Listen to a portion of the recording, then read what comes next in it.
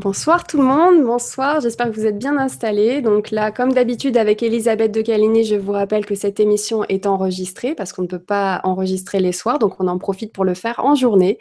Alors justement, profitez-en, vous pouvez vous retrouver sur nuria.tv et échanger quand même pendant euh, le déroulé de l'émission sur le site nuria.tv sous la conférence de ce soir, ou simplement profitez de l'instant et vous laissez emporter par Elisabeth de Caligny et les histoires qu'elle nous raconte sur Nuria TV. Et je suis très heureuse de t'accueillir une nouvelle fois, Elisabeth. Comment vas-tu? Bah, Très bien. Et toi, Nora? Tout va très bien. Bonjour à tous. Euh, bonjour à toutes. Non, non, euh, les vacances, euh, bah, j'en ai pas profité parce que j'ai beaucoup travaillé.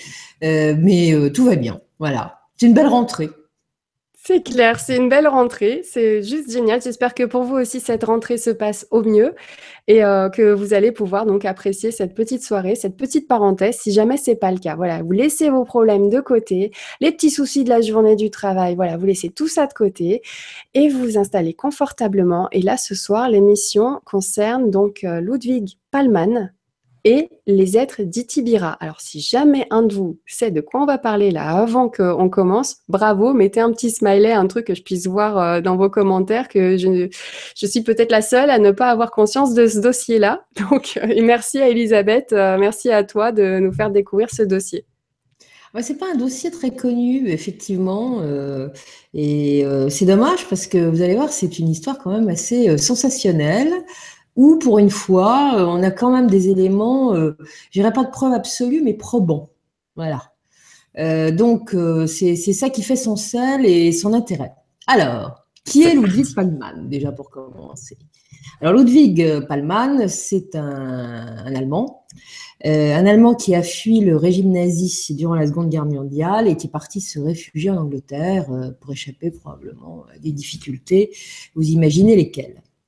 Une fois la paix euh, revenue, il va euh, monter euh, une société qui va travailler à fabriquer des machines dans l'agroalimentaire. Et ça marche bien, si bien qu'il a des demandes aux quatre coins du monde. Et du coup, bah, ça l'amène à voyager pour vendre ses machines. Et c'est comme ça qu'en 1964, il se retrouve en Inde. Et il va prendre un train euh, et se retrouver dans le même compartiment qu'un homme euh, qui va attirer son attention immédiatement. Pourquoi? Parce qu'il a une allure tout à fait particulière. Bon, il est de taille euh, moyenne, il est très mince, il a des très longues jambes, qu'il croise élégamment, il est très élégant, très bien habillé. Sa peau est légèrement hâlée. il a des cheveux châtains, mais il n'a pas pour autant le type hindou. Il a un type tout à fait à part. Euh, et surtout, il a des grands yeux noirs, une petite bouche, tout, enfin pas très grande, et la partie inférieure de sa mâchoire est légèrement déformée.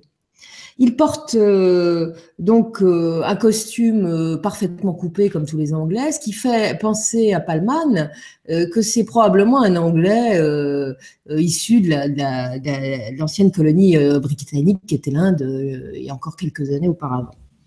Mais il y a d'autres choses qui l'interpellent. Il a de longues mains et au bout de ses longues mains, il a de petits étuis sur la dernière phalange. Et à chaque fois que cet homme respire, il va s'apercevoir que ses mains se contractent, comme si c'était difficile pour lui de respirer, qu'il avait une insuffisance respiratoire. Et quand d'ailleurs il inspire profondément, on dirait quelqu'un qui a du mal à, respirer. Hein. Euh, mais pour autant, bah, il a l'air en parfaite santé. Enfin, il a cette petite, euh, cette petite euh, particularité. Et ces autres particularités, il n'y en a pas qu'une. La conversation va s'engager. Vous savez que dans les trains en Inde, surtout dans les années 60, on est encore dans le luxe, surtout qu'ils doivent voyager en première, tous les deux, et mhm. on boit des coups. On boit des coups, on sert un petit whisky, alors c'est pas un petit thé, mais ça doit être une heure particulière, où on prend un whisky. Et donc l'homme accepte euh, l'offre de, boire un verre avec euh, Paul Moll, Palmal, Palman, oula, je pense à des cigarettes. Nous ne faisons pas de publicité pour les cigarettes. On continue. Donc, euh, donc, ils vont avoir une conversation. Et là, la conversation va s'avérer également particulière. C'est que l'homme bute sur les mots. C'est-à-dire qu'il n'a pas une discussion fluide et surtout Palman va s'apercevoir que la voix ne sort pas de sa bouche, mais euh, d'un petit appareil qui est épinglé sur sa veste. Donc ça, euh, il trouve ça extrêmement étrange. Enfin bon, il a une élégance naturelle, cette façon de parler un peu bizarre n'enlève rien. Et à un moment, l'homme va se présenter, il va dire qu'il s'appelle Satura. À la tombée de la nuit, le train va arriver en gare, dans une gare, je ne sais pas trop laquelle, peu importe d'ailleurs, et il va voir Satura qui descend du train sur le quai pour se mêler à la foule. Alors bon, vous savez ce que c'est que les trains indiens? Vous avez des gens sur les quais qui sont affamés malheureusement, et dans les années 60, c'est encore pire que ça ne l'est maintenant. Et ils demandent à manger. Donc il y a des, femmes euh, en haillons, des mendiants, des gens estropiés, enfin bon, bref, c'est la cour des miracles, et qui demandent auprès des voyageurs de l'argent, de la nourriture. Et lui, euh, qui descend sur le quai, Satoura, va s'approcher d'une femme extrêmement maigre, qui a dans les bras un petit enfant, qui, qui, a les grands yeux, vous savez, de, de ces enfants, ces yeux mornes, de ces enfants qui ont faim et qui, qui est également très maigre. Et il va lui donner une pièce de monnaie déjà pour qu'elle se nourrisse, mais également il va glisser entre les, les, lèvres du petit, du petit enfant un comprimé. Et il va remonter dans le train. Bon. Euh, Palman euh, l'a regardé faire, s'est demandé ce qu'il faisait. Il n'a pas le temps de lui poser une question. Que Satoura lui dit bah, écoutez, on a du travail. Euh, venez avec moi et il l'entraîne dans les wagons de troisième classe. Alors vraiment, bon, Palman est surpris. Et là, c'est effectivement euh, des wagons où les gens sont d'une extrême pauvreté. Il y a des groupes d'enfants euh, euh, qui ont des têtes de, gamins mal entretenus, qui, sont tout maigres. Il y a un vieillard qui est assis par terre, prostré, qui, qui, avait vraiment très mal en point. Et Palman va, va voir Satura qui distribue à chacun ses fameux comprimés. Et il va se rendre compte que les gens, une fois qu'ils ont absorbé la petite pilule, bah, ils se redressent, ils ont l'air euh, vachement mieux, ils ont du rose aux joues, euh, ils vont mieux. Bon. Il pose pas de questions, il l'a regardé faire, euh, il n'a rien demandé. Et puis le train arrive en gare de Madras, qui était la destination finale. Donc le moment des adieux est arrivé. Palman a plein d'idées, de, questions en tête, mais il n'osera pas les, les poser. Pardon. Ça va mal. Pourtant, je suis en pleine forme aujourd'hui. Mais justement, trop d'énergie, la pensée va plus vite que, la bouche, tu vois. Oui, ça doit être ça, je pense que j'ai. Enfin bon, il va quand même lui poser une seule question, Palman à Satura. Il va lui demander d'où il vient. Et Satura va lui répondre qu'il vient, euh, qu'il est originaire de Kotosoti. Kotosoti. Alors Palman, il a fait euh, des tas de visites dans le monde entier, mais Kotoseti, euh, ça lui dit rien du tout. Mais vu la sonorité du mot, il lui demande si c'est pas en Amérique centrale. Et Satura lui répond ah non pas du tout. Euh, euh Saturi et Kotosoti, ça se trouve sur Itibira 2. Itibira 2. Oh, qu'est-ce que c'est que Itibira 2 Alors bah, euh, Palman ou les yeux ronds, euh, euh, Satura le regarde et, il lui indique la direction de l'Est en lui montrant le ciel, mais il n'en dira pas plus. Alors Palman insiste et lui dit Mais c'est quoi? Et lui dit Mais je vous expliquerai un jour. Et c'est terminé, chacun prend un taxi et s'en va. Bon, Palman se retrouve dans un des palaces de la ville, comme il le fait habituellement, puisqu'il a les moyens. Et puis, il est là depuis quelques heures, en train de reprendre un petit peu le frais euh, dans un jardin magnifique, puisque en général, ces, palaces sont de très beaux jardins. Et il voit arriver euh, un Indien très distingué qui lui remet un pli. Euh, sur ce pli, dans ce pli, eh il y a un carton d'invitation pour se rendre à une adresse donnée le lendemain matin. Et c'est signé de Satura. Alors le lendemain matin, eh bien, il va aller à l'endroit indiqué. Il va arriver devant une très belle demeure, très cossue. Et à l'intérieur de cette demeure, il y a une galerie d'art, avec de très beaux tableaux, de très beaux objets, euh, des objets indiens évidemment. Satural l'accueille extrêmement chaleureusement et va l'entraîner devant quelques œuvres d'art. Et il va lui en montrer une qui représente le dieu Vishnu. Et il va lui faire remarquer que derrière le dieu, il y a euh, des vaisseaux ce qui ressemble à des soucoupes volantes, manifestement. Et il lui explique qu'il s'agit de vaisseaux cosmiques euh, qui démontrent bien que dans des temps anciens, eh bien, euh, la Terre a été visitée par des êtres venant de l'espace. Et que là, euh, il en a la preuve à travers une œuvre d'art. Mhm. Alors, Palman, qui n'est pas du tout au fait de ce genre de truc, il se pose vraiment des questions, ce coup-là. Euh, il se demande si c'est pas un coup de Satura pour essayer de lui vendre quelque chose, mais d'une façon un peu originale. il sait pas si c'est du lard ou du cochon, comme on dit vulgairement. Mais enfin bon, toujours est-il qu'ils vont passer un très heureux moment ensemble, ils vont bien discuter, ils s'entendent très bien. Et à la fin de, la matinée, eh bien, ils vont se séparer. Et Palman va dire à Satura qu'il part euh, faire des affaires en Inde, qu'il va d'abord se rendre euh, dans le Cachemire, euh, il va aller à Calcutta, et puis il va finir à Bénarès. Et Satura lui dit, bon, écoutez, on va se retrouver à Bénarès. Ah bon? On va se retrouver à Bénarès. Très bien. Il a à peine temps de réfléchir que Satura lui dit Mais euh, je vais vous donner un moyen pour qu'on se retrouve. Et il va lui tendre une bague assez étrange que tu vas nous montrer. Et cette bague en or est sertie par un cabochon euh, taillé d'une façon assez étrange, qui n'est pas une pierre précieuse, qui n'est pas un diamant, c'est une sorte de métal brillant. Cette bague, il lui pose au creux de la main et il lui dit, vous verrez, quand, je, quand vous serez à Bénarès et que j'y serai également, cette bague vous préviendra de ma, de ma présence et vous indiquera quand est-ce que nous nous verrons.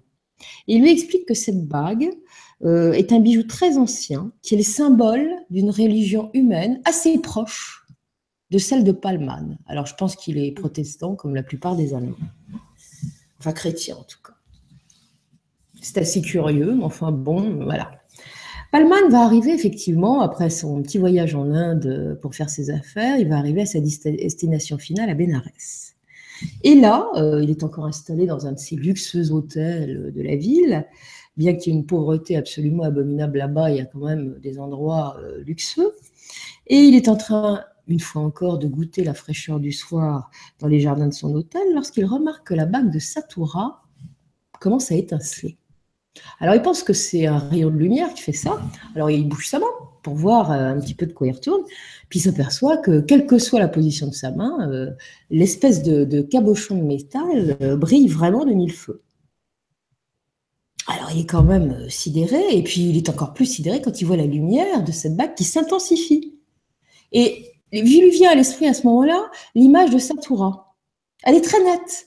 Puis d'un seul coup, euh, ça se trouble un peu, comme si euh, y avait un brouillard. Il se demande ce qui se passe. Euh, c'est, une vision qu'il a dans sa tête. Il n'a jamais vécu ça. Et quelques, quelques, quelques instants plus tard, peut-être une demi-heure plus tard, qu'est-ce qu'il voit arriver? Satura. Je vais partager la représentation de, de Satura. Voilà. Voilà. Donc voilà Satura. Alors, il n'est pas à son avantage, à mon avis, il doit être plus beau que ça. Mais enfin, ça, c'est une reconstitution qui a été faite. Hein.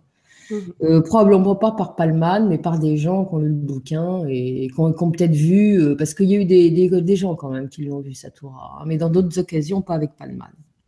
Donc Palman, en voyant Satura, est très heureux de leur voir. Ils vont immédiatement se lancer dans une grande conversation, euh, aussi bien du business que, de l'histoire. Et il va s'apercevoir que Satura, bah, finalement, est quelqu'un de très convivial et surtout qu'il a beaucoup d'humour. Et surtout qu'il parle plusieurs langues. Il va s'adresser à plusieurs reprises à lui euh, en espagnol classique. Et il va s'apercevoir que bah, il parle parfaitement bien espagnol aussi. Euh, et puis, il y a quelque chose qui va le troubler aussi, c'est que pour la première fois, il va s'apercevoir que les mots que prononce cet être, cet homme, euh, touchent son cœur.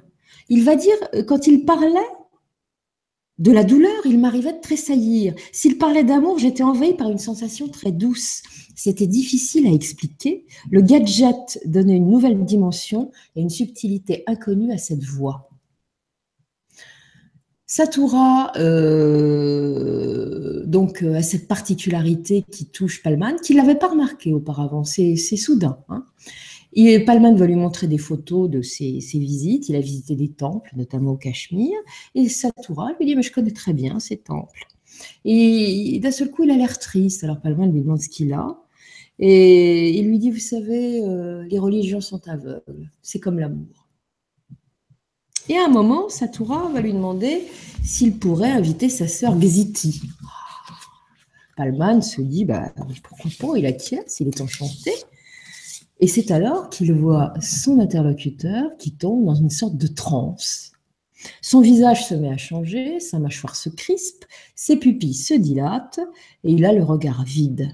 Euh, Palman dira que c'était comme si on avait appuyé sur un bouton et que son regard d'un seul coup était devenu comme mort. La lumière s'était éteinte. Il reste absolument sidéré de ce qu'il voit et puis tout redevient normal. Bon, toujours est-il qu'après un coup pareil, eh bien, euh, euh, Palman va faire signe à un serveur de, leur servir un scotch. Hein. et à peine le serveur a-t-il tourné les talons que Palman voit arriver une femme absolument séduisante. Elle est habillée d'un sari, elle a un, très joli voile sur la tête, elle est très élégante, elle est très souriante. Mais alors, ce qui a troublé Palman, c'est qu'elle a l'air de sortir de nulle part. On dirait qu'elle est sortie d'une sorte de lumière qui s'est mise dans un coin de la pièce et qu'elle est apparue comme ça, comme par enchantement.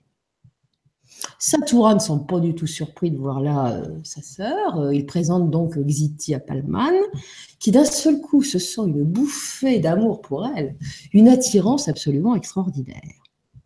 Il va remarquer que, comme son frère, elle a une démarche un peu glissante, que ses gestes sont harmonieux, mais surtout que les deux se ressemblent de façon frappante. C'est absolument incroyable. Ils ont également cette même déformation du menton et ce même regard charmeur, que, qui, qui, pétillant, euh, qui, mais en même temps euh, qui exprime une autorité euh, particulière. Et surtout, elle regarde droit dans les yeux, elle est franche et elle a des gestes gracieux. Il est totalement bouleversé. Elle est, comme je vous l'ai dit, extrêmement élégante. Elle a une robe de soirée, elle a des sandales dorées. Et surtout, elle a un très joli voile qui met son teint en valeur, qui est légèrement hâlé, un joli voile orange. Et même si sa tenue est un peu orientale, on n'en a pas pour autant l'apparence physique. Elle a vraiment un type eurasien, elle aussi. Hein. Il remarque que comme son frère, donc sa voix est particulière et elle ne sort pas évidemment de sa bouche, elle non plus, mais d'un petit médaillon euh, qui est accroché à une jolie chaîne autour de son cou. Et le son est parfaitement là aussi synchrone avec ses paroles. Alors évidemment, cette technologie intrigue fortement Palman. Et en même temps, il se dit, euh, est-ce qu'il n'y aurait pas autre chose derrière Et voilà qu'il se met à parler en espagnol avec eux, les deux répondent. Et pour, euh, pour tester quelque part, il va se mettre à parler en espagnol, d'abord avec l'accent péruvien et ensuite avec l'accent castillan. Et là, ça va être une surprise totale dans le regard des deux autres. Ça va être la panique.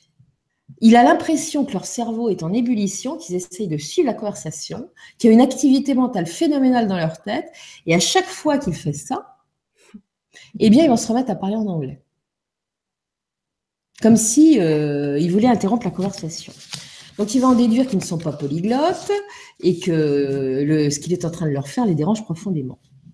Le lendemain, Bon, la soirée va se terminer, tout le monde euh, se termine, ça se termine en bon terme. On se dit qu'on se reverra probablement. Et effectivement, le lendemain, lorsque Palman se promène tranquillement sur les bords du Gange, ce que font classiquement les touristes, eh bien, il, se retrouve nez à nez, sans l'avoir vu arriver, avec Satoura.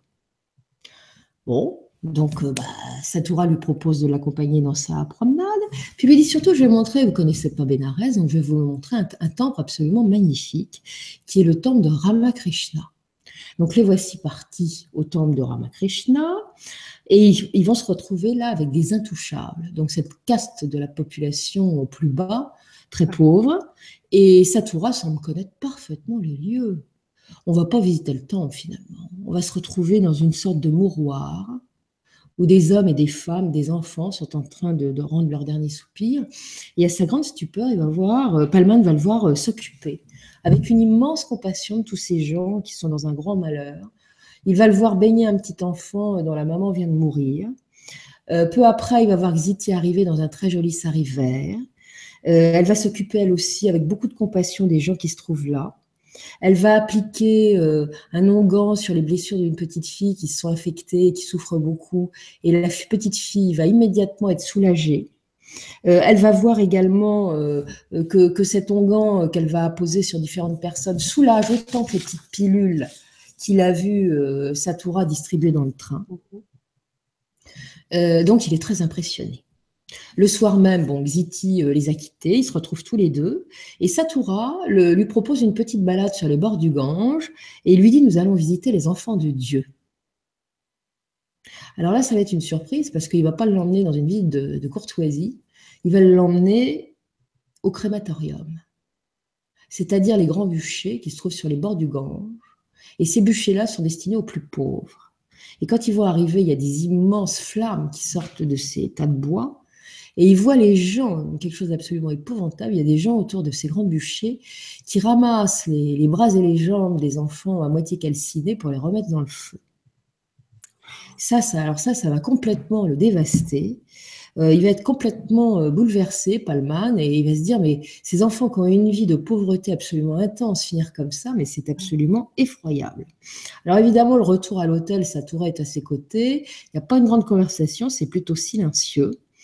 Euh, mais il se dit, Palman, que ces, ces deux-là, Satura et Exiti, sont vraiment pas des gens ordinaires. Mhm. Et peut-être viennent-ils, comme ils le lui ont dit, enfin Satura le lui a dit, d'une autre planète, et cette fameuse planète Itibira. Jusqu'ici, il n'en avait pas été vraiment convaincu. Mais là, de ce qu'il a vu dans la journée, il se dit qu'ils ne sont vraiment pas comme les autres euh, humains, si je puis dire. Et il dira qu'il était même tellement convaincu par Satura qu'il était prêt à prendre tout ce qu'il lui disait comme parole d'évangile. C'est dire à quel point il est impressionnant. Ils vont se revoir. Satura intrigue vraiment euh, Palman, comme je vous l'ai dit, euh, et notamment physiquement. Et il se pose de plus en plus de questions. Ce qu'il ne sait pas, c'est que Satura euh, est télépathe. Donc, euh, eh bien, sans qu'il ait même formulé avec des paroles ce qu'il a à dire, les questions qu'il a posées, Satura va répondre à ces questions. Il lui dit, bon, vous, êtes surpris parce que vous ne voyez jamais mes dents et vous voyez que je n'ai pas de voix. Alors, je vais vous expliquer. Nous avons une conformité différente de la mâchoire. Nos lèvres euh, ce que vous voyez de notre visage, a une sorte de, comment dirais-je, de, prothèse qui fait que ça nous reconstitue une bouche normalement. Mais nous n'avons pas de dents. Nous avons perdu nos dents depuis longtemps dans notre civilisation. Et donc, euh, ces lèvres permettent, euh, cachent complètement notre mâchoire. Il va lui dire qu'il y a eu une grande évolution génétique sur leur planète au fil des millénaires, aussi bien pour les hommes et pour les femmes, parce qu'ils avaient changé de mode de vie et que du coup, bah, euh, euh, génétiquement, ils avaient changé, les particularités génétiques qui s'étaient euh, qui, adaptées à ce qu'ils étaient. Et alors, Satura veut lui dire, vous voulez voir comment c'est fait à l'intérieur de ma bouche? Bah, Oui. Et eh bien, regardez. Alors, Palman regarde, et là, il va voir effectivement une mâchoire sans dents, et il va voir également une langue très bizarre, très fine, très petite, pas du tout comme une langue d'être humain. Euh, tant qu'on y est, bah, il y a les mains aussi qui sont un peu bizarres avec ses doigts, avec des étuis au bout. Satura lui dit Vous voulez voir aussi? Pas de ce, problème. Il enlève ses étuis. Et là, il va apercevoir des ongles, des, bouts de doigts tout ronds, euh, plats et sans ongles. Donc ce sont des mains très différentes des nôtres. Et c'est pourquoi il met des étuis pour ne pas être repéré. Et il va expliquer que l'extrémité de leurs doigts est extrêmement sensible. Euh, entre-temps, Xiti les a rejoints et du coup, elle va montrer ses mains également. Donc, elle va enlever les étuis de ses bouts de doigts et là, elle a des doigts un petit peu différents de ceux de son frère. Ils sont très longs, très effilés, mais très pointus, en pointe, sans ongles également. Alors là, il va être sidéré, d'autant qu'elle a des doigts tellement longs et tellement effilés, on dirait euh, il est enchanté. Il trouve que c'est une merveille de la nature. Il est vraiment euh, presque contrit de la voir remettre les étuis sur ses bouts de doigts tellement c'est joli. Et surtout, elle a une façon de bouger ses mains qui est absolument merveilleuse. Alors évidemment, euh, Palman a l'air tellement esbody que les deux euh, sont, sont, comment dirais-je, ça, les fait rire évidemment. ils vont répondre à toutes leurs questions et il va apprendre que les doigts de ces êtres ont des fonctions tout à fait particulières. Elles sont très innervées et avec euh, la spécificité de leur permettre de sentir les sons. C'est-à-dire que euh, ça a la même fonction que l'oreille, et également les saveurs. C'est-à-dire que quand ils touchent, par exemple, un fruit, un légume ou quelque chose, ils en ont immédiatement la saveur. C'est quand même assez extraordinaire. Et puis voilà, le voyage en Inde se termine, on se fait des adieux, et Palma est absolument convaincu qu'il ne reverra jamais ces gens. Il retourne en Europe, il va à Zurich, et à Zurich, euh, il est quand même intrigué par cette bague que Satura lui a laissée, lui en a fait cadeau. Il se dit, mais qu'est-ce que c'est de. Je vais peut-être en savoir un peu plus sur son origine et l'origine de ces gens-là. Donc il va voir un joaillier qui va regarder la bague avec beaucoup d'attention, Et il est perplexe. Il lui dit écoutez, je crois que c'est une bague très ancienne, de grande valeur. Mais alors, moi, je ne suis pas du tout un spécialiste de ce genre de truc. Je vais vous envoyer vers quelqu'un qui va pouvoir vous renseigner. Alors, effectivement, il va l'envoyer euh, vers un expert euh, qui va lui dire écoutez, le bijou que vous avez entre les mains est un bijou issu de dynastie précolombienne. Il est rarissime et il a une très grande valeur. Par contre, pour ce qui concerne le cabochon, alors là, je n'ai jamais vu ça de ma vie. J'ai jamais vu sur la Terre un, sur la Terre un métal de cette nature-là. Ça m'est totalement inconnu. Donc là, je ne peux pas vous en dire plus. Les années passent. Palman euh, va de plus en plus converser à travers le, monde et va surtout développer une grande activité en Amérique du Sud. Et un jour qu'il est lors de ses voyages d'affaires en Amérique du Sud, de dans, en Amazonie, carrément au Brésil, il va rencontrer un guide autrichien, un peu explorateur. Alors bon, entre blancs, euh, on se fait la causette, hein, surtout européen. Euh, on boit des coups, un peu une petite bière. Et puis l'explorateur qui a un peu roulé sa bosse euh, va lui raconter une histoire, mais alors à brûle pour comme ça. Et puis vous savez, pas loin d'ici, à côté, du côté de la rivière Yavari, dans la partie amazonienne du Pérou, il y a des explorateurs blancs qui sont intégrés euh, vraiment à la vie des indigènes de la forêt amazonienne. Et ces gens, euh, ils sont extrêmement bizarres. Je les ai vus une fois, enfin je les ai vus plusieurs fois. Euh, ils ont des mains avec des doigts qui ne sont pas comme les autres. il va décrire ce qu'il a vu. Et là, Palman est complètement sidéré. Il décrit exactement les mains des êtres, euh, Xiti et, et alors, il attend la suite, évidemment. Et l'Autrichien lui dit euh, Bon, je, peux vous dire aussi qu'ils ont des grandes connaissances technologiques et scientifiques. Je ne sais pas d'où ils viennent, mais alors ils bricolés. Mon hélico avait un problème un jour, j'avais du mal à redécoller. Je les ai vus arriver. Ils ont bricolé en deux temps, trois mouvements l'hélice arrière de mon hélico. J'ai pu repartir tout de suite. Je n'ai jamais vu ça. Je ne sais pas si ce sont des Américains parce qu'ils parlent anglais ou quoi que ce soit, mais alors vraiment, ils sont assez sidérants.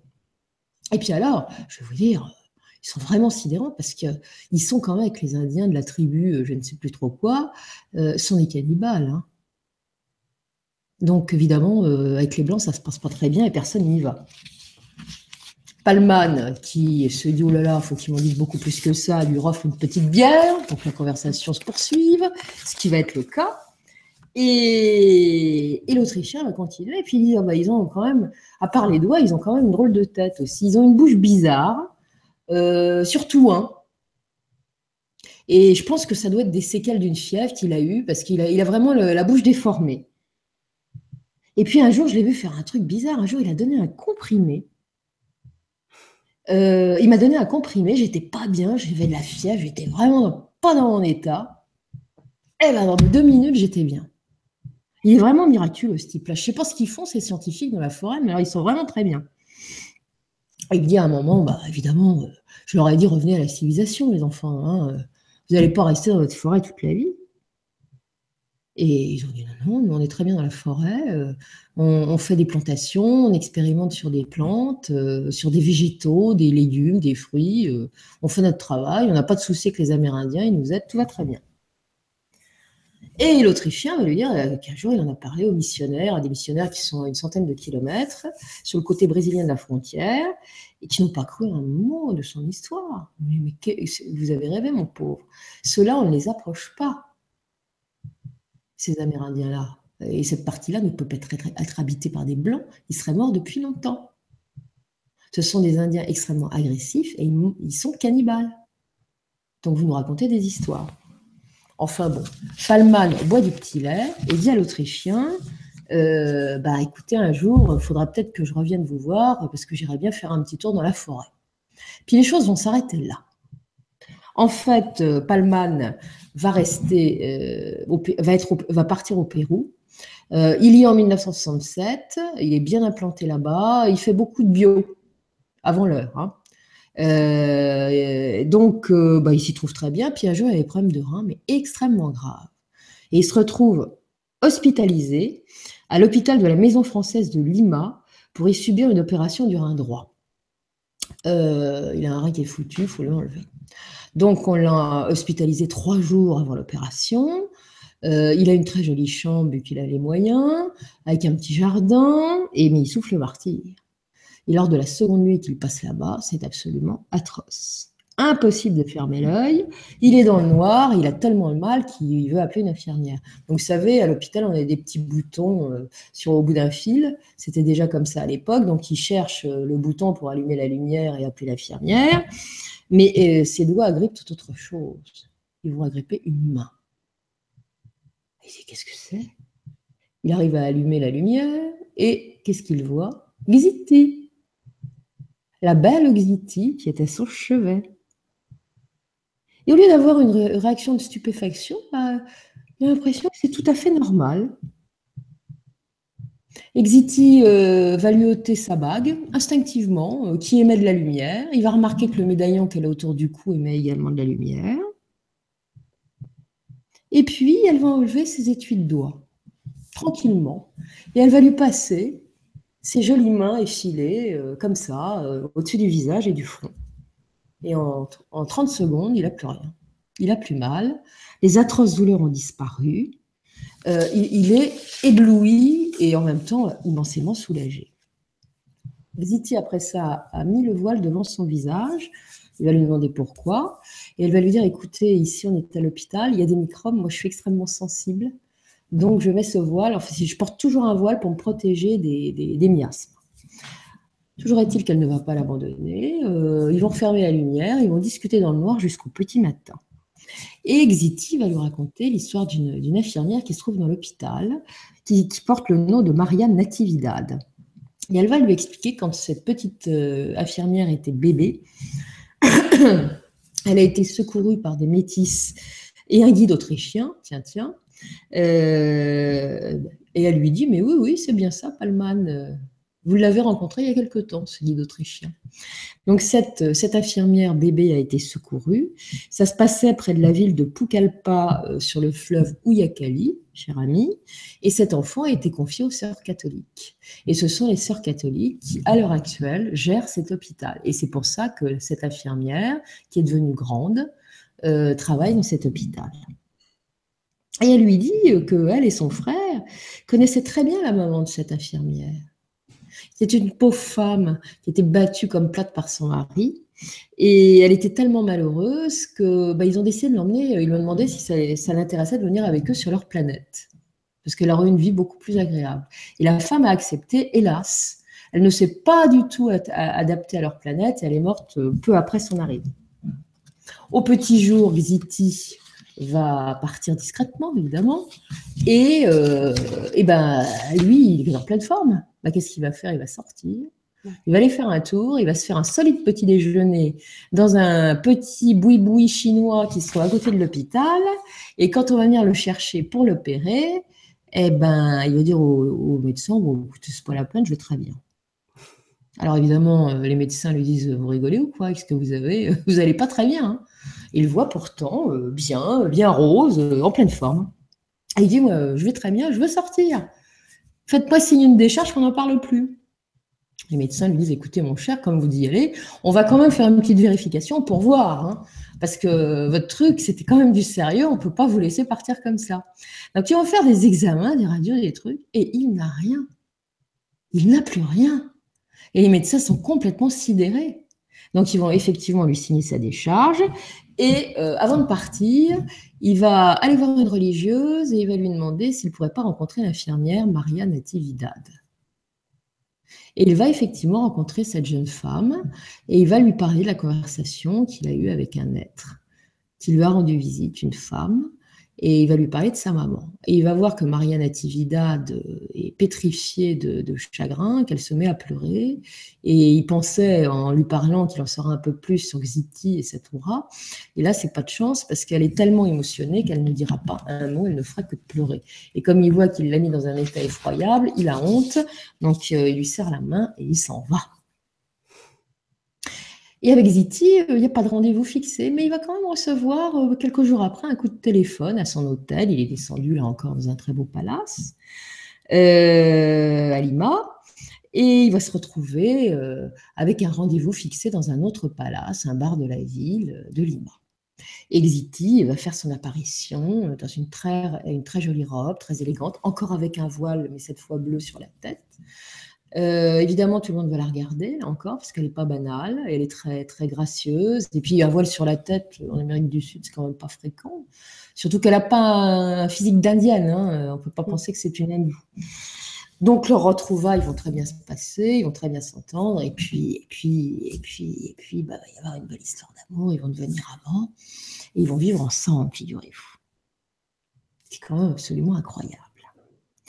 Et euh, bah, du coup, évidemment, euh, il va un peu mieux connaître ces, êtres qui viennent d'Itibira.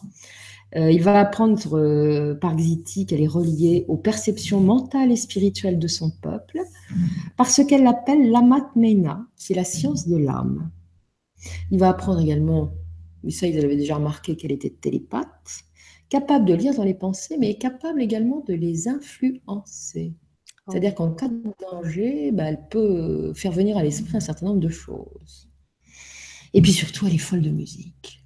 Dès qu'elle entend une musique, ça la rend, mais alors, dans un ravissement absolument total. Dès qu'il y a un disquaire dans le coin et qu'il y a de la musique colombienne ou autre qui passe, elle ne peut pas s'en empêcher. Elle rentre dans la boutique, elle écoute pendant un temps infini avec une expression de béatitude absolue la musique. Ça, c'est son truc. Et puis un jour, euh, elle va surprendre Palma. Elle lui dit Écoute, j'ai besoin de monnaie locale. Euh, j'aimerais que tu ailles. Euh, moi, c'est un peu difficile parce que tu sais, bon, j'ai des papiers, mais quand même, c'est un peu difficile d'aller au bureau de change. Donc, est-ce que tu pourrais pas y aller à ma place? Donc, elle lui donne, elle lui sort de nulle part des lingots d'or, mais alors magnifiques. Ils sont sculptés. Il n'a jamais vu des lingots comme ça. Et bon, euh, il lui dit, mais attends, allez, allez changer ça, ça va peut-être pas être facile. Lui dit, écoute, euh, vas-y, tu verras bien. Effectivement, il va aller au bureau de change. À l'époque, entre le Pérou et le Brésil, on fait beaucoup de commerce d'or, donc c'est pas étonnant que quelqu'un amène de l'or pour avoir de la monnaie. Bon, les gens sont un peu surpris de voir les, la tête des lingots, hein, parce que ça, c'est quand même pas banal. Ils vont les prendre, ils vont lui donner sa monnaie. Et quelques temps plus tard, Xiti lui annonce toute joyeuse qu'ils vont faire un voyage. Parce que Satura est en Pérou et il aimerait bien le revoir. Et rendez-vous est fixé dans une ville qui s'appelle Huancayo, qui est dans les Andes du Pérou, c'est à peu près à 200 km de Lima. Et les voici qui prennent le train, les voilà partis, euh, bourrés de bagages, parce que Xiti a fait des tas d'emplettes. C'est une fashion victime, puis surtout elle a acheté beaucoup de disques parce qu'elle adore la musique. Donc c'est lourd à porter. Euh, un taxi va les emmener au bord d'un lac, là où ils ont rendez-vous avec Satura. Et là, Palman va avoir une grande surprise. C'est que Satura ressemble, alors comme deux gouttes d'eau, à tous les Amérindiens qui sont là. Il est habillé comme eux. Il n'a pas l'air d'être différent d'eux. Pourtant, son visage n'a pas changé, mais alors il est totalement fondu dans le paysage. On ne ferait pas le distinguo entre un local et lui-même. Et surtout, la deuxième surprise, c'est que sur la surface du lac, qu'est-ce qu'il va voir? Un vaisseau en sustentation. Alors, il n'avait jamais vu ça de sa vie. Ça va beaucoup l'impressionner. Ce qui va beaucoup l'impressionner, c'est que le vaisseau va se rapprocher du, rivage où ils sont, et en faisant un boucan d'enfer, ce qui est quand même plutôt rare. C'est vrai. En général, c'est silencieux. Mais là, ça va être pire que tout. Et quand euh, une espèce de passerelle en forme de doigt géant va se déplier, alors ça sera absolument infernal comme bruit. Il a, ils, ont, ils ont la tête comme ça. Toujours est-il que le doigt en question, il se pose dessus et ça se referme immédiatement. Il se retrouve dans ce qu'il qualifiera de hall d'accueil antiseptique. Effectivement, là, on va les désinfecter tous les deux. Euh, c'est l'usage, hein, on ne peut pas arriver comme ça à l'intérieur du vaisseau. Et il va dire qu'il va se retrouver, je vais, vous lire ce qu'il a écrit exactement. Il décrit la structure dans laquelle il s'est retrouvé. Il va dire euh, c'est une structure cellulaire inconnue biologique et végétale, décorée de symboles et de motifs ravissants. On aurait dit du polythylène au plus doux. Un sol présentait une surface plus résistante qui miroitait sous la lumière tamisée, et dans le plancher étaient incrustés des milliards de nerfs et de vaisseaux sanguins. À l'intérieur du vaisseau, on percevait un discret bourdonnement. C'est quand même assez étrange. Et puis, euh, on va le plonger euh, dans un bain. Alors, il est tout nu, il va s'endormir là-dedans. Quand il va se réveiller, ben, il va pas comprendre, il est dans une sorte de lit suspendu, comme un hamac, mais relié à des veines et des vaisseaux, comme un corps humain. On va lui expliquer plus tard qu'on l'a, on l'a mis dans un système médical informatisé, qu'il a subi un certain nombre d'examens durant son sommeil et que les examens, euh, euh, pour lui, sont très importants et ce qu'on lui a fait est très important parce que c'est un, un traitement de préservation de la vie qu'on lui a fait. Bien. Et puis ensuite, euh, euh, Xiti va lui dire, bah, il va lui amener un très joli kimono. Euh, il va, enfin, c'est pas un kimono classique, mais ça y ressemble.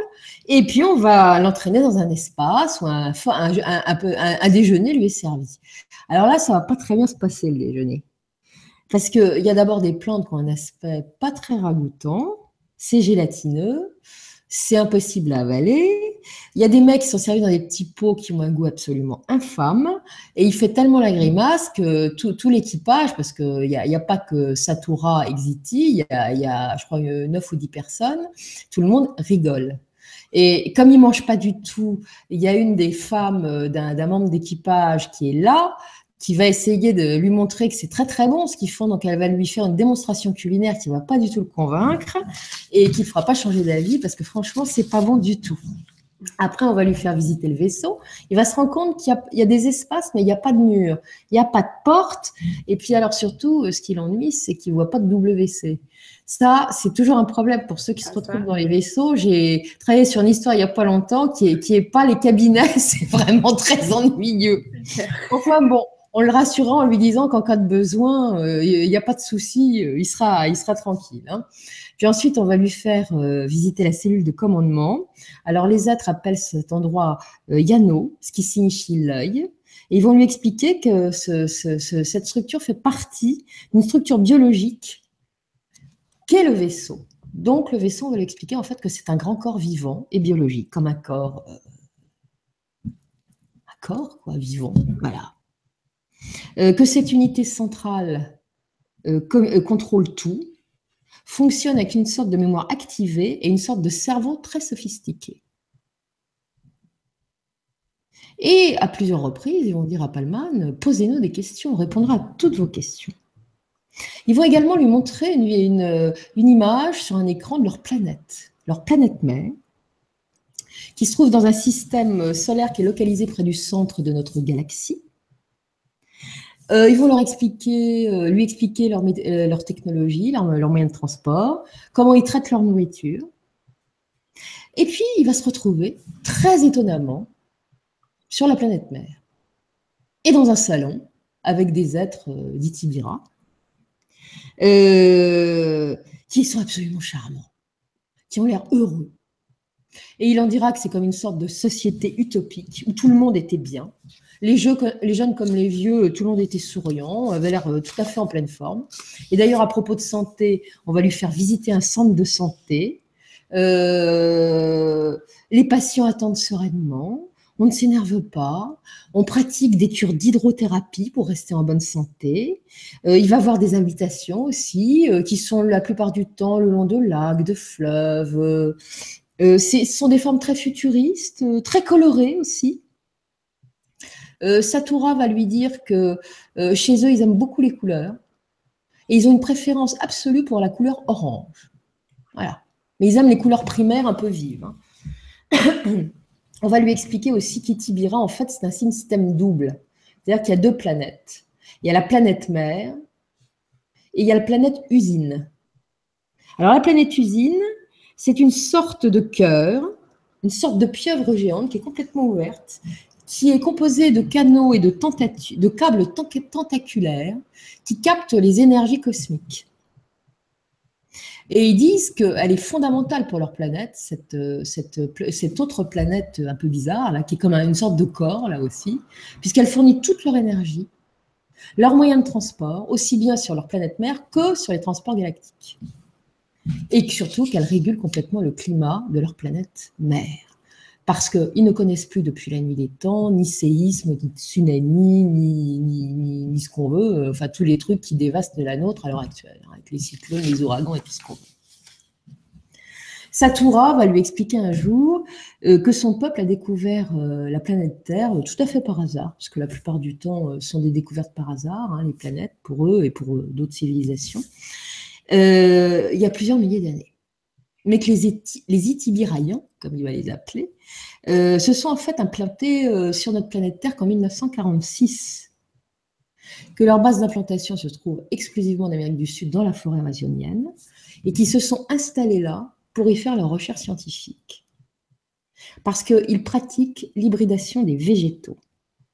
Et d'ailleurs, il va avoir très vite l'occasion de visiter une de ces plantations au sud-est d'Iquitos, euh, à la frontière du Brésil et du Pérou. On va l'emmener en soucoupe euh, tout de suite, on ne va pas l'autoriser à sortir du vaisseau. Il va devoir respecter une forme de quarantaine, là encore. Et quand il va sortir, bah, il va s'apercevoir effectivement qu'il est perdu dans la jungle amazonienne. il, va, être très étonné. Il va dire Mais pourquoi vous avez choisi un lieu pareil? C'est complètement hostile. J'ai des trucs pas possibles. C'est un vivant. Et ils Mais non, il n'y a pas mieux que la forêt amazonienne. Pour pousser nos plantes et faire nos recherches, c'est le climat idéal. On ne peut pas rêver mieux. On peut hybrider nos fruits, nos légumes, tout ce dont on a besoin pour se nourrir. Et on a découvert un fruit extraordinaire sur cette planète. D'ailleurs, on a baptisé votre planète du nom de ce fruit, Silsil Ua. Et en fait, ce fruit, euh, c'est le fruit Chiminoya. Voilà. Et c'est pas encore ce, c'est pas encore celui-là, c'est un autre, celui euh, que je t'ai montré tout à l'heure. Palman va apprendre avec grande surprise pourquoi leur recherche sur ces végétaux, fruits et légumes est aussi importante Eh bien, c'est fondamental pour eux. Et c'est peu banal. Parce que ces êtres souffrent terriblement physiquement s'ils ne sont pas suffisamment de nourris de saveurs nouvelles. Et comme ils veulent rester actifs et en bonne forme, il leur faut sans cesse trouver de nouvelles saveurs. C'est pour ça qu'ils écument la galaxie, pour trouver euh, des, des végétaux de toutes sortes qu'ils vont hybrider pour découvrir en permanence ces nouvelles saveurs qui vont leur permettre d'être heureux. Donc ils font en permanence, ils mènent en permanence sur différentes planètes et sur la Terre des programmes de recherche très pointus pour hybrider leurs végétaux avec ceux de différentes planètes. Ceux de, la planète Terre sont hybridés avec des trucs de leur planète, mais d'autres planètes qu'ils ont ramenés d'ailleurs. Et euh, Palman va dire que c'est des exploits biologiques absolument ahurissants. Ils se donnent un mal de fou et euh, euh, ils vont leur expliquer comment ils sont devenus comme ça. Il au départ, on était comme vous, on mangeait de la viande. Puis petit à petit, bah, on, a, évolué vers un régime strictement végétarien. Et ça a changé la structure de notre corps. Et ça a développé quelque chose chez nous qui, qui est l'amour du surgoût. C'est absolument incompréhensible pour vous les terriens. Mais pour nous, c'est fondamental. Sans les saveurs, sans le goût, on ne peut pas vivre. On se nourrit de ça. Et ils vont dire qu'ils sont complètement fous furieux d'un fruit exotique qui s'appelle le cachiman, que tu vas nous montrer. Là, euh, c'est ce fruit que je t'ai envoyé en photo. Alors, je ne l'ai pas, reçu en photo, mais est-ce que c'est lui? Voyons un peu. C'est pas ça du tout. D'accord. Bon, bah, c'est pas grave. Je pourtant, je l'ai envoyé, mais enfin bon, c'est pas grave. Donc, c'est un fruit. cette histoire que j'ai trouvée sur, euh, sur Google qui était très étrange. On aurait dit un vaisseau spatial.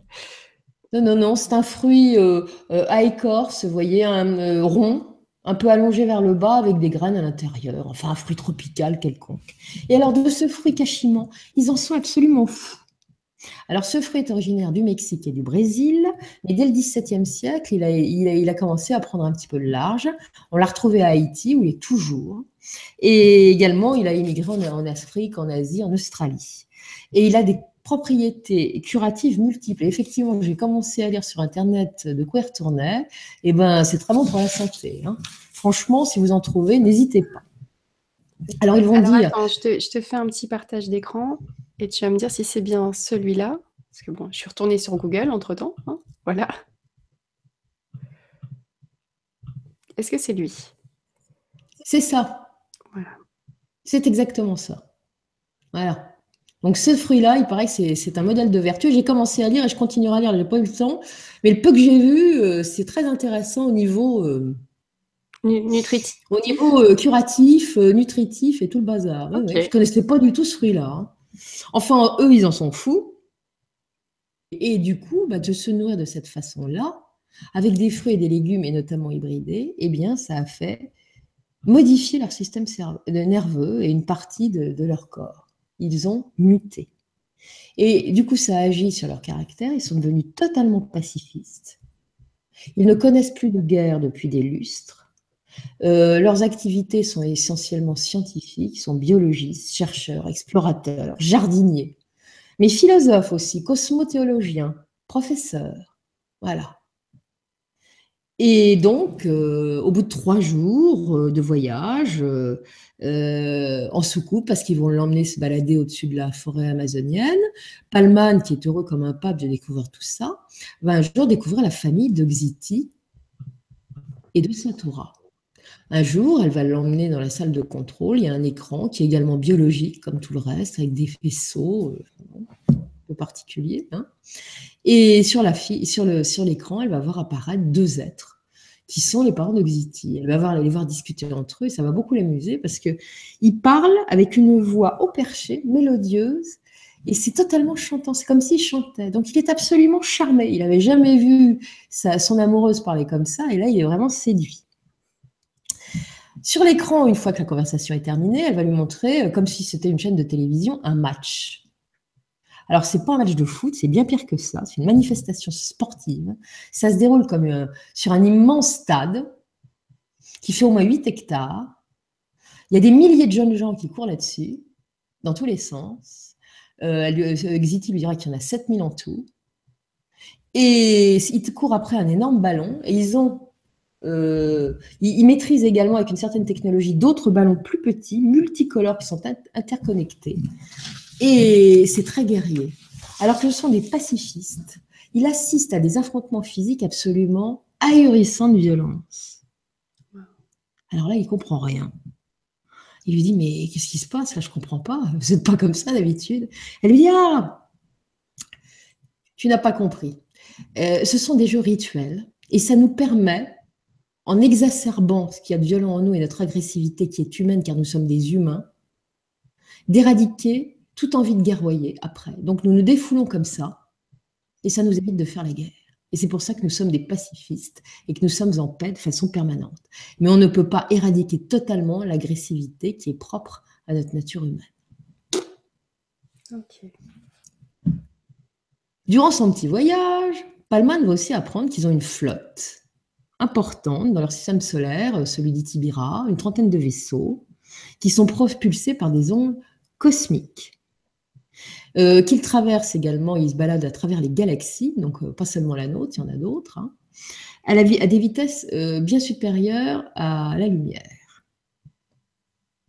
Que les unités d'énergie qu'il nomme porteurs suivent leur vaisseau de contrôle et de ravitaillement, et que ces, porteurs, qui sont, il n'a pas bien compris ce que c'était, mais bon, c'est une des structures particulières, mhm.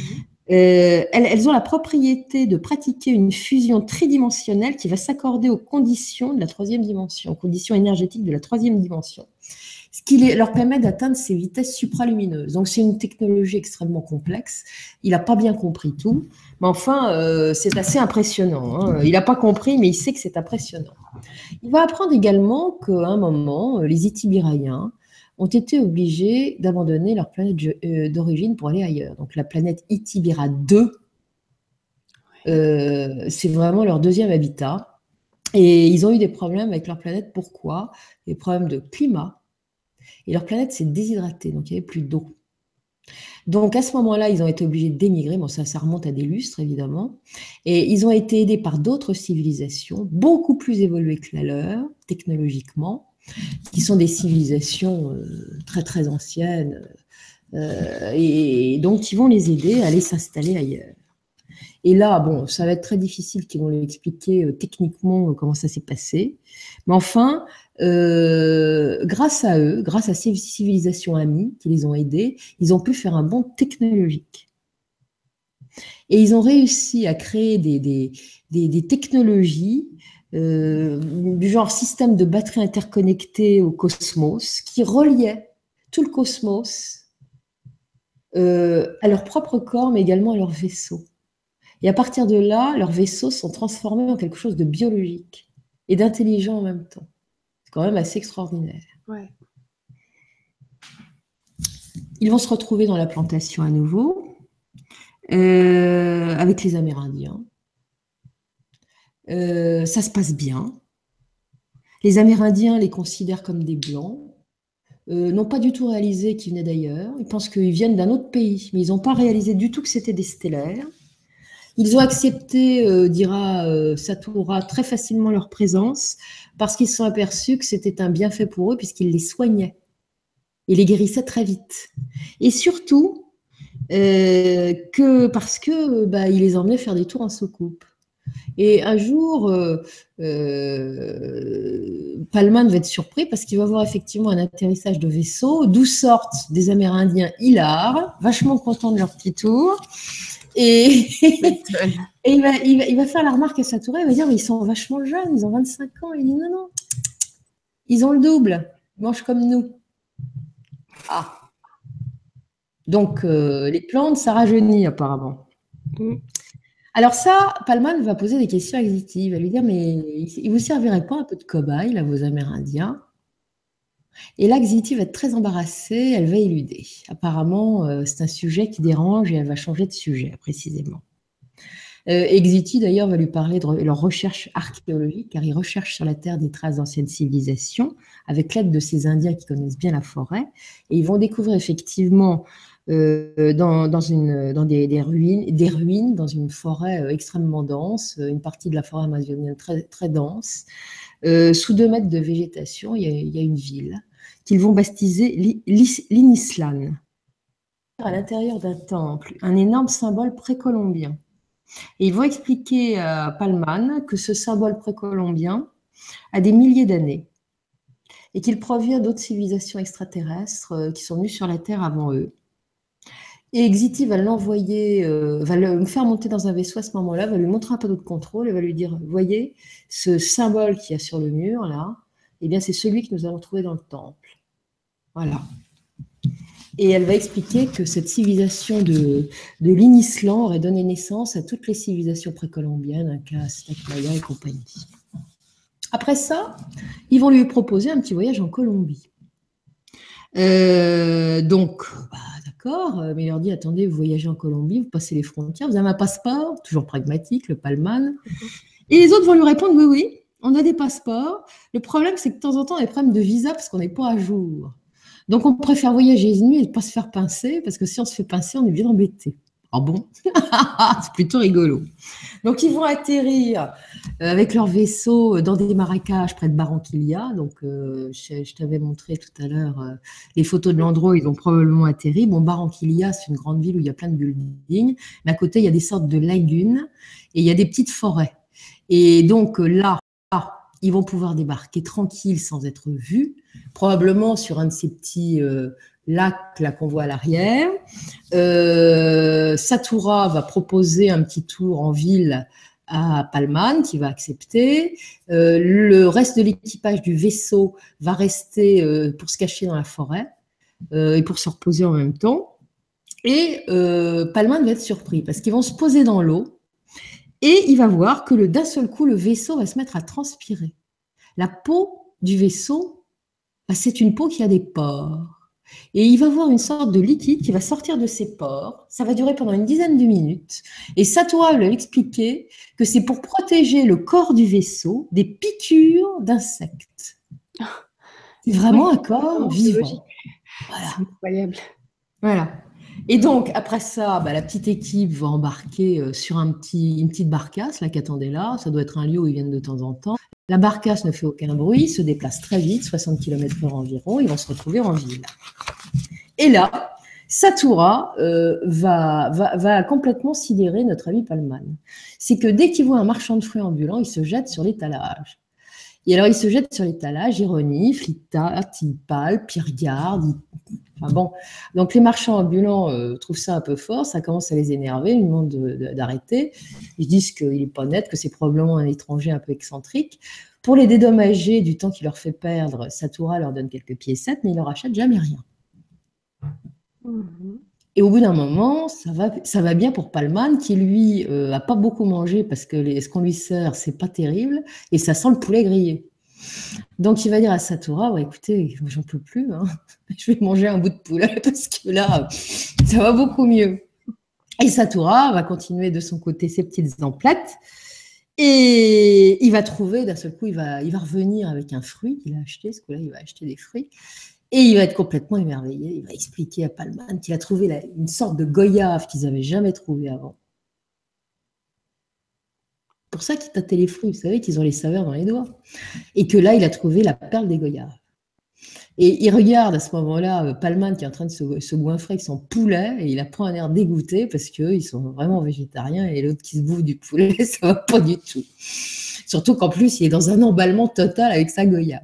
Enfin, toujours est-il qu'il arrivera, selon euh, Palman, à dégoter le lendemain des boutures du fameux goyavier qu'ils ont pu ramener dans, leur vaisseau pour repartir euh, dans leur plantation en Amazonie. Toujours est-il qu'avant de quitter Barranquilla, euh, notre ami euh, Palman décide de s'acheter un bel appareil photo. En fait, il a l'intention de leur tirer le portrait et celui du vaisseau, on peut comprendre. Sauf que Satura lui dit Attends, montre-moi ça. Donc il regarde l'appareil sur tous les côtés, puis lui dit Non, confisqué. Alors Palman n'est pas très heureux. Il va lui dire Bah écoute, il faut que tu comprennes une chose. Il faut que vous compreniez une chose parce qu'il se voit. Euh, il, va, en fait, il va lui tenir un discours sur la science de l'âme qu'il appelle Amat Maina, qui va complètement déconcerter Palman. Il va lui apprendre que lui et les siens ne croient pas à la réincarnation. Il va lui expliquer aussi que les photos ont des implications symboliques et métaphysiques qui ne sont pas du tout positives. Alors, Palman va lui poser des questions, il ne comprend rien du tout, et l'autre ne va pas lui en dire plus. Il lui dit par contre, pas de photos.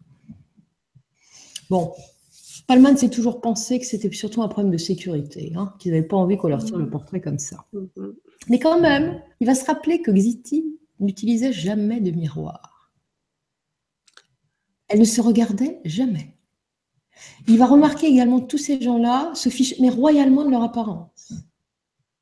Ils peuvent être très élégants, mais ils peuvent euh, ne pas du tout faire attention à eux. Euh, ils n'ont pas de vanité, ils n'ont pas d'ego, ils ne sont pas du tout dans l'apparence, donc ils s'en foutent. Donc ils n'ont pas besoin de miroir. Donc ça, ça l'avait vraiment impressionné aussi. Toujours est-il qu'on va lui faire visiter la plantation, maintenant qu'on est revenu avec les pieds de goyave et tout le bazar. Euh, mais une autre plantation qui est vraiment au fin fond de la forêt amazonienne. Il va constater que c'est très, très, très bien foutu. Il y a une immense clairière avec euh, des, plantes qui sont sous des, grandes tentes avec des draps voyez des humidificateurs, des filtres à air qui sont installés un petit peu partout. Et on ne fait pas mieux pour, euh, pour euh, faire pousser, dans les meilleures conditions climatiques qui soient, euh, ces, ces, plantes. Et alors, ils appellent ces endroits-là les centres de saveur. Ils vont également aller dans un autre endroit de la plantation. C'est une installation qui est un petit peu à part. Il y a plusieurs secteurs hein, avec des laboratoires qui sont installés également sous des, des tentes. Et là, c'est encore d'autres plantes qui sont euh, hybridées cette fois, avec euh, des plantes qui viennent de planètes diverses, dont la leur, mais pas seulement la leur, hybridées avec des plantes terriennes. Puis il y a un laboratoire central aussi de recherche. Alors là, c'est comme des blocs opératoires, des blocs chirurgicaux, où les gens travaillent et ils font des, choses avec des matériels extrêmement sophistiqués euh, euh, sur les plantes. C'est comme si c'était des opérations chirurgicales sur les plantes. Et c'est suivi sur des écrans et c'est commenté au fur et à mesure de l'opération par des biologistes. Quand on ne travaille pas, on discute le soir autour d'un repas pas forcément terrible pour Palman et on va lui parler de la famille. Alors sur Estibillera, eh bien on est amoureux, et quand on tombe amoureux, ben, on se marie, on fait des enfants, sauf que quand les enfants ont 6 ans, eh bien ils rejoignent des centres d'éducation, ils ne restent pas avec leur famille. Et en général, ça fait éclater le couple un an après. Mmh. Les gens considèrent qu'au bout de 7 ans, ils se sont bien aimés, mais bon, ça va. Et donc, ils passent à autre chose. Alors, euh, Palman est complètement surpris, voire un peu choqué, d'ailleurs, un peu puritain. Et moi, enfin, c'est pas normal. Les autres lui disent, mais attends, on vit, on vit très longtemps. Euh, ça voudrait dire qu'on peut rester 400 ans avec la même personne. Imaginez-vous de rester 400 ans avec la même personne. Euh, évidemment, Palman n'a pas de mots, mais Satoa va quand même lui dire qu'il est marié depuis 90 ans avec une femme qui est d'une autre planète que la sienne, une autre stellaire, et qu'il a trois enfants. Ah euh, au bout d'un moment, euh, Satura va lui dire que euh, il a l'air triste ce jour-là. Il lui dit bah écoutez, on va quitter la Terre parce qu'on vient de recevoir des ordres de notre autorité supérieure. Notre mission sur Terre est terminée, donc nous rentrons. Nous allons, nous allons partir. Et dès le lendemain, ils vont ramener d'ailleurs Palman sur le bord d'un lac péruvien. Et Palman bah, est très triste parce qu'il quitte Saxiti, dont il était très amoureux, tout le monde s'en va. Hein. Et il va aller s'installer au Salvador cette fois. Et il va acheter une très belle propriété en pleine nature sur le rive d'un lac tranquille au pied d'un volcan qui s'appelle le volcan San Vicente. Et il y a de très belles images. Bah là, déjà, euh, j'ai la photo du, lac sur lequel ils ont fait leur dernière euh, rencontre. Voilà. Voilà, c'est ça. Donc, il s'est installé là. Mais on n'en est pas encore là. Ça, c'est, je vais en parler un petit peu parce qu'il va se passer un événement. Donc, il est installé, vous voyez, face au volcan San Vicente, au bord de ce lac, et sa propriété, euh, d'après les explications qui me sont données, ne doivent pas être très loin. Vous voyez comme c'est beau, c'est magnifique comme endroit. Très beau choix.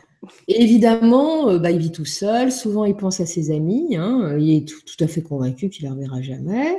Et puis, le 15 janvier 1969, il est installé euh, dans sa nouvelle propriété depuis une quinzaine de jours quand il voit soudain la bague de Satura qui lui brûle, le doigt. Il est obligé de la retirer d'ailleurs, tellement ça le brûle. Et comme téléguidé, le voici parti à sauter dans un petit bateau et à aller se rendre sur un endroit du lac qui est complètement désert. Et il arrive sur une plage sablonneuse qui se trouve près de l'île de l'Altar.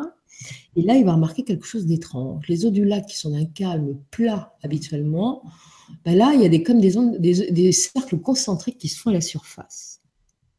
Et là, il se dit, euh, bah, ça doit être mes amis d'ailleurs qui sont de retour. Alors, il cherche le vaisseau, sauf qu'il n'y a pas de vaisseau. Mais il va être surpris, c'est qu'à un moment, autour dans la tête, qu'est-ce qu'il voit assis sur un rocher? Son ami Satura.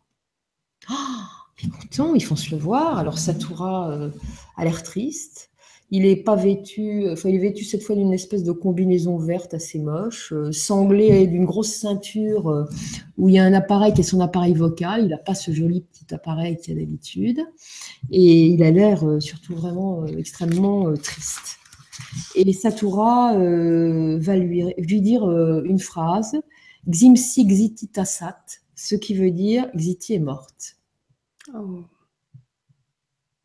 Et Palman est complètement dévasté. Euh, il pleure évidemment.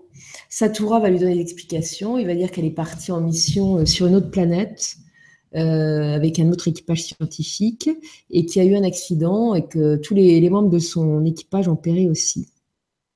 Et Satura va lui dire Bah voilà, je voulais t'annoncer la nouvelle, c'est pour ça que je suis revenue.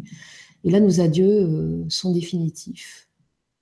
Je venais simplement de dire ça. Donc ça va s'arrêter là. Palman va rentrer chez lui euh, complètement dévasté, en larmes. Euh, il peut tellement pas rester chez lui qu'il va aller en ville rejoindre euh, un de ses amis médecins qui va l'héberger pour la nuit. Et le lendemain, il va être réveillé en sursaut par des crieurs de journaux qui hurlent à toute tête qu'une soucoupe volante a été repérée au-dessus du Salvador et en particulier près des collines de San Jacinto qui entourent le lac, au pied du volcan San Vicente. Évidemment, en entendant ça, euh, Palman va, sortir dans la rue acheter le journal et il va voir que tous les journaux parlent que de ça. On signale euh, un vaisseau spatial qui a été aperçu en sustentation euh, de façon prolongée aux abords du lac. Et là, il va s'apercevoir que c'est non loin du lieu de rendez-vous qu'il avait avec Satura. Sauf que lui ne l'a jamais vu, le vaisseau. Le vaisseau a été également aperçu en d'autres endroits. Il a survolé assez longuement le Salvador. Ce sont en fait des milliers de témoins qui l'ont aperçu. Et il a été assez surpris, Palman, parce qu'il savait très bien qu'il se déplaçait de nuit, qu'en général, il ne se montrait pas. Voilà le type de vaisseau. Hein. Donc, il y a des gens qui ont pris des photos. Alors, ça, ce n'est pas, pas les vaisseaux qui ont été pris à ce moment-là. Ça, ça avait été pris au Pérou en 1967, quand après qu'il soit sorti de l'hôpital. Et c'est probablement au-dessus du lac euh, euh, a, où il a rejoint Satura aussi. Vous voyez, mais ça, c'est au Pérou. Et à la suite de ça, bon, il sait que l'histoire est terminée, qu'il ne reverra pas ses amis et surtout pas Xiti puisqu'il est décédé. Et il va décider d'écrire d'un seul trait euh, l'histoire. Et il y a un livre qui va paraître à Londres en 1970 qui va s'appelait Cancer Planet Mission. Et ce livre va être va raconter son histoire et va raconter aussi que notre planète fait partie, et ça c'est ce que lui ont dit ses amis, euh, dit Tibira, cette partie fait partie des planètes qu'ils appellent eux les planètes cancer. Parce qu'elles sont habitées par des individus égotistes, individualistes, qui ne vivent pas en harmonie avec les lois cosmiques, les lois de la création, les lois de la nature, qu'elles ont développé des technologies anarchiques qui ont provoqué des pollutions diverses, notamment électromagnétiques, et ces champs électromagnétiques provoquent le cancer.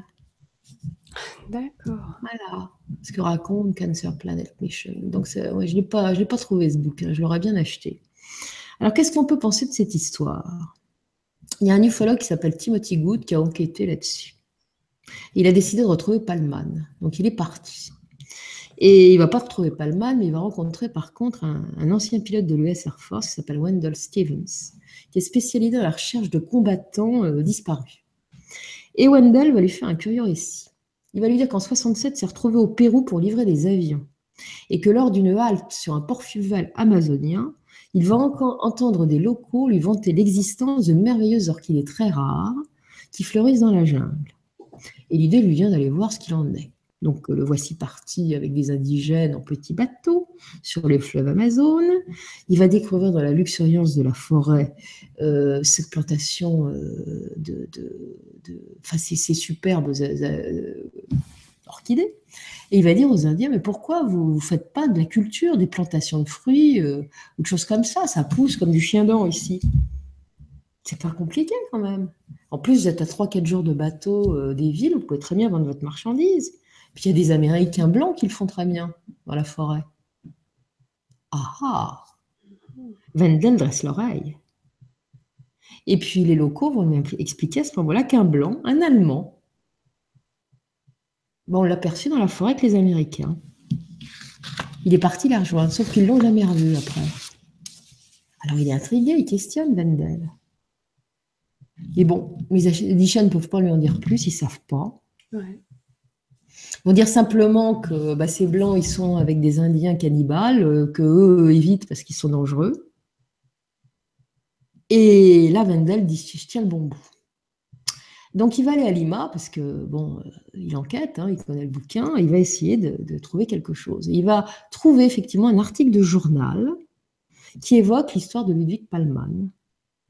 Et l'article explique euh, l'aventure incroyable d'un Allemand, je relis un petit peu ce que dit l'article, qui, était un certain Palman, qui était un commerçant spécialisé vivant à Lima, et il vendait à ce moment-là des produits biologiques et des machines d'emballage pour des produits alimentaires.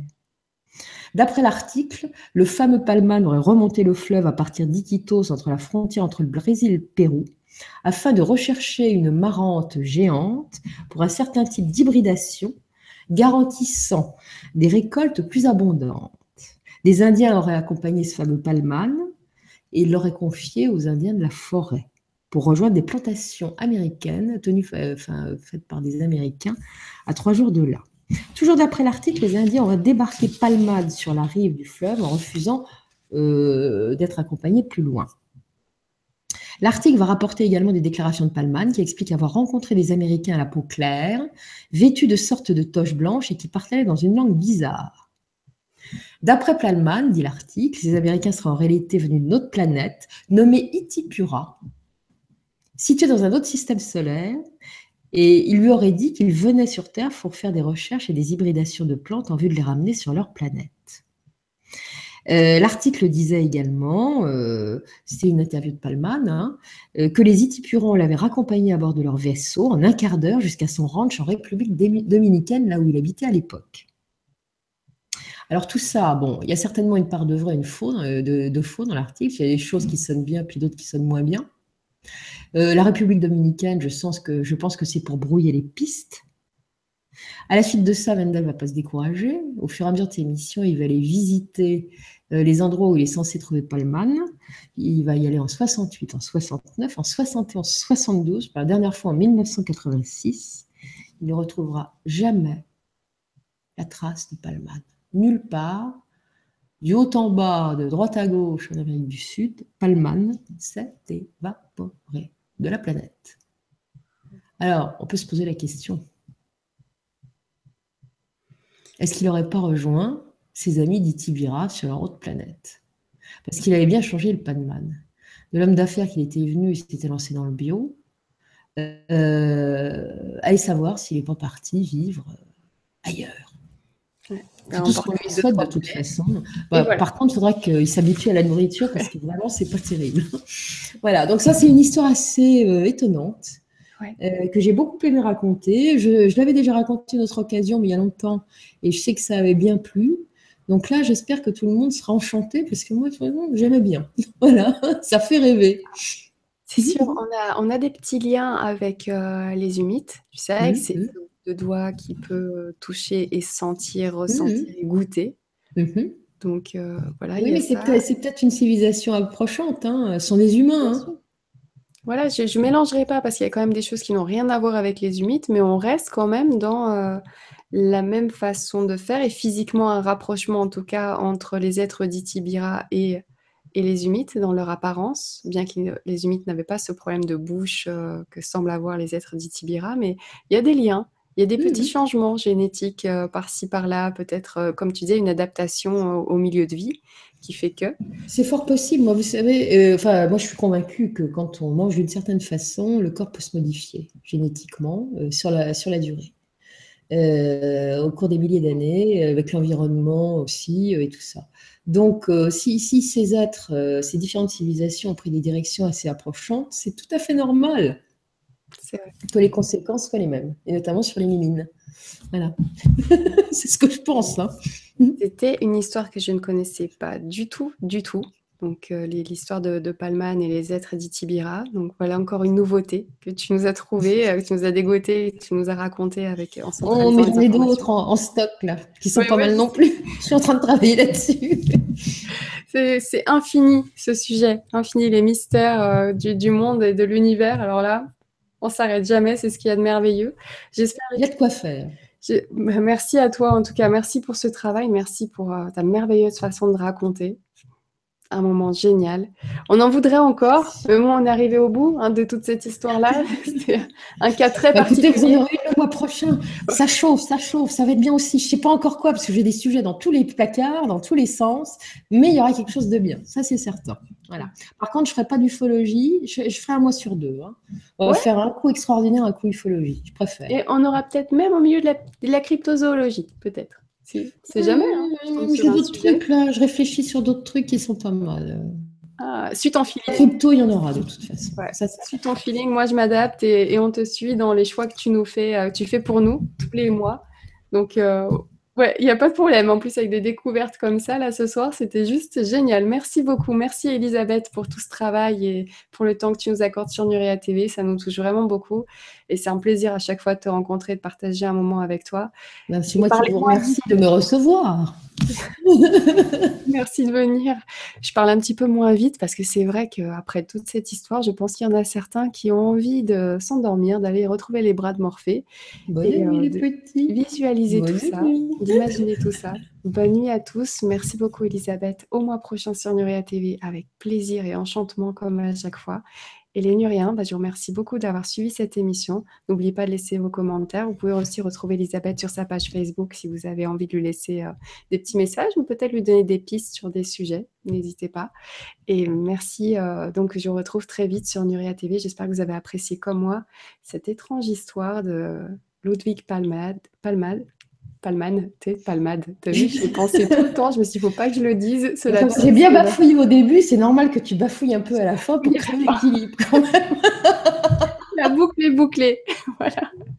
Merci à tous, merci pour votre attention. À très vite sur Nura TV. Je vous embrasse très fort. Ciao. À bientôt. Au revoir.